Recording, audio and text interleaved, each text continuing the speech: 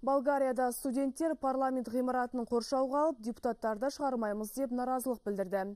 Жасар үкіметті жемқорлыққа айыптап, елдің заң шығарушы органына жедел сайлау өткізуді талап етті. Тәртіп сақшыларының алаңнан бейбіт түрде кетулерін сұрағанмен студенттер қарсылық танытты. Полицейлері күш қолданып таратуға мәжбүр болған. Қақтығыс салдарынан бірнеше адам жарақат алды. 12 адам қамауға алынды. София қаласындағы басты көшелердің бірі әлде қоршауға алынған. Айта кетейік, соңғы бірнеше ай бойы қала тұрғындары наразылық шараларын жиі ұйымдастыруда.